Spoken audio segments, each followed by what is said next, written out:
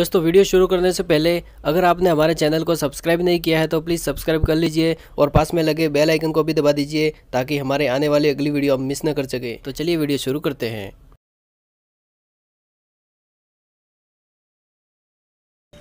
आपको पता होगा कि रामायण को रामानंद सागर ने बनाया था, जिसमें मुख्य पात्र में नज़र आए थे अरुण गोविल, सुनील लहरी, दीपिका चिल्किया, दारा सिंह, अरविंद त्रिवेदी विजय अरोरा और पद्मा खन्ना जैसे कई कलाकारों ने किरदार निभाया था।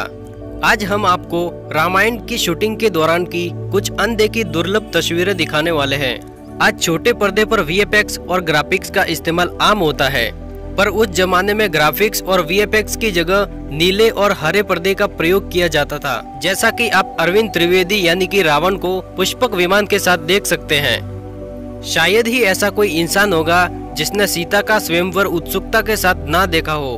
पर क्या आपने शूटिंग के दौरान की ये तस्वीरें देखी है, जिसमें रामानंद सागर, अरुण गोविल यानी राम को सीन समझाते नज़र आ रहे हैं? शायद आपको पता ना हो कि राम और रावण का किरदार निभाने वाले अरविंद त्रिवेदी और अरुण गोविल बेहद ही अच्छे दोस्त हैं, और उनकी दोस्ती के सबूत के तौर पर शूटिंग के दौरान की ये तस्वीरें आप देख सकते हैं। ये तस्वीर उस एपिसोड की है जब राम ने रावण का वध करके अयोध्या पुनः आगमन किया था और उस समय शूटिंग के दौरान कुछ इस तरह का माहौल था।